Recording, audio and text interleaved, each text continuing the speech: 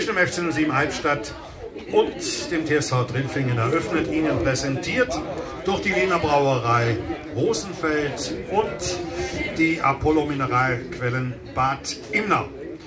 Dennis Söll ist äh, Trainer der Gäste und ich darf ihn bitten, nun die Partie aus seiner Sicht in Worte zu fassen. Bitte schön. Okay, hallo zusammen. Ähm, ja, Glückwunsch an Alex und an Albstadt zum verdienten Sieg. Ich denke, es ähm, gibt keine zwei Meinungen heute.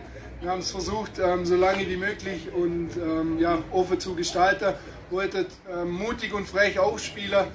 Ja, bis zur ersten Torchance von uns durch den Pfostenschuss von Thomas Stelle ähm, ist das, glaube ich, ganz gut gelungen. Ja, und am Ende des Tages, ich habe gerade die Statistik noch von der Zeitung erfahren, ich glaube 18 zu 0 Ecke und 16 zu 4 Torschüsse. Ja, muss man da sagen, natürlich verdienter Sieg. Ähm, war klar, dass Albstadt ähm, spielerisch ja, doch auch eine Klasse besser ist als wir. Und von daher hochverdienter Sieg. Glückwunsch. Ja, und man hat weiter so. Vielen herzlichen Dank, Herr Soll, natürlich auch für die netten Worte an unsere Adresse. Es freut uns logischerweise sehr. Sind Fragen von Seiten der Presse. Dies scheint wohl nicht der Fall zu sein.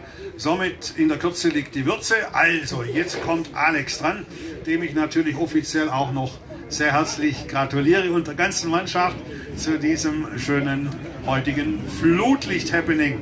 Also, Alex, dein Statement, bitte. Ja, zuerst mal Hallo zusammen und danke Dennis für die Glückwünsche und auch für die ehrliche ähm, ja, Analyse. Tja, 4-0 gegen Trilfingen. Ähm, es ist nicht selbstverständlich, dass wir heute ähm, das in der, in der Form dann abliefern. Es war, was mir am besten gefallen hat, heute eigentlich über, über die komplette Spielzeit, über die ganzen 90 Minuten, dass wir äh, wahnsinnig gute Spielkultur an den Tag gelegt haben. Im 4-4-2 haben wir da dann wirklich auch die Breite genutzt, die Außenverteidiger immer wieder hochgeschoben und äh, immer wieder aufgebaut über den Sechser oder über den Innenverteidiger.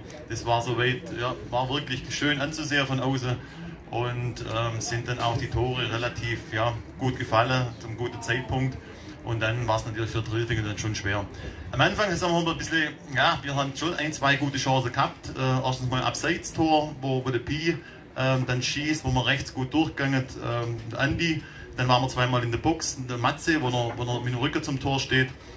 Und äh, ja, da haben wir schon zwei, drei gute Chancen gehabt. Und dann auf einmal aus dem, aus dem Nix äh, hat Drillfinger die, die riesige Chance zum 0-1. Wenn sie die machen, klar, dann, dann wird es für uns dann noch schwerer, aber wir haben uns da jetzt nicht beirren lassen, sondern haben weitergespielt und haben ja dann auch den, das 1-0 gemacht äh, durch Standardsituation. Nico geht super durch, wenn er im Tempo ist, ist er fast nicht zu halten und der Haken äh, schlägt äh, elf Meter dann unter die Latte. Das 2-0 war, war wichtig, kurz vor der Halbzeit, auch wieder durch den Standard 18 zu 0, wie, wie der Dennis, ähm, Dennis schon sagt. Ähm, ja, war, war, war, da sieht man dann schon, dass wir überlegen waren. Aber es war wichtig, kurz vor der Halbzeit dann das 2-0 durch den Pi, der Volley-Schuss.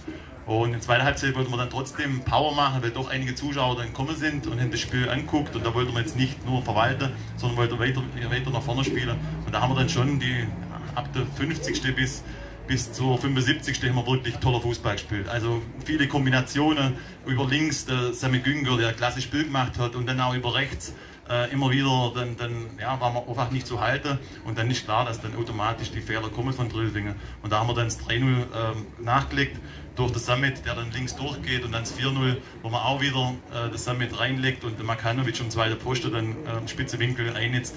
Ja, 4-0 war klasse. Drillfinger hat nicht enttäuscht, ich fand euch stärker wie, wie noch in der letzten Runde, in der Vorrunde. Ähm, ja, und, und ich verfolge es immer, wie, wie ihr spielt, weil Drillfinger ja auch irgendwo dann äh, nicht weit weg ist von meinem, von meinem äh, Heimatort.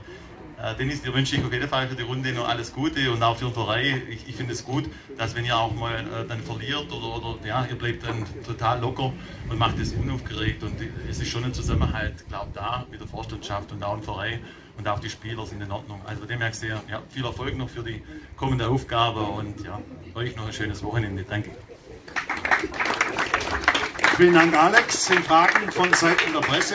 Ich glaube, äh, der eine oder andere muss dringend die Berichte äh, abgeben oder senden und es hat schon das Stadion verlassen. Insofern darf ich die Pressekonferenz mit einem herzlichen Dank an beide Trainer und natürlich auch die Mannschaften, die heute Abend ein tolles Spiel gemacht haben, äh, beenden. Ihnen, liebes Publikum, wünschen wir noch angenehmen Aufenthalt. Wir haben, glaube ich, noch was da. Vielleicht gibt es noch Würste, aber Getränke mit Sicherheit. Genießen Sie noch den schönen Abend heute. Wer weiß, was die Zukunft bringt. Äh, es ist ja irgendwann mal mit anderer Witterung dann zu rechnen. Also in diesem Sinne wünschen wir unseren Gästen aus Dülfingen einen guten Nachhauseweg. Ich habe es ja vorhin schon äh, von der Sprecherkabine aus gesagt. Viel Erfolg für die nächst anstehenden Spiele und äh, wir freuen uns auf ein hoffentlich baldiges Wiedersehen. In diesem Sinne bleiben Sie uns alle wohlgesonnen. Tschüss, bis zum nächsten Mal. Freundlichst Ihr FC 07 Albstadt.